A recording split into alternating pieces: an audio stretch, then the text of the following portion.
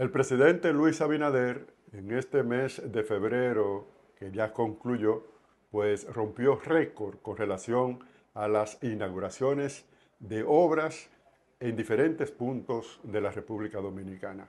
60 obras en su totalidad eh, fueron inauguradas por el presidente de la República, lo que podemos decir que para este año que va, que enero y febrero, el presidente ha inaugurado 98 obras de importancia en diferentes demarcaciones.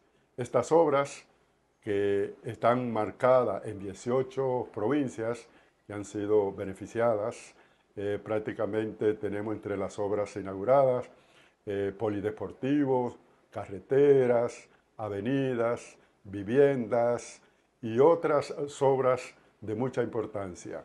Las provincias que fueron impactadas con estas importantes obras están eh, Santo Domingo, la provincia de Santo Domingo, Santiago, el Distrito Nacional, La Vega, Bauruco, Pedernales, San Francisco de Macorís, San Juan, San Pedro de Macorís, La Romana, entre otras provincias de importancias. Nosotros habíamos vaticinado que el presidente de la República para este año podría estar inaugurando de tres a cuatro obras en cada fin de semana que visite cada una de las provincias.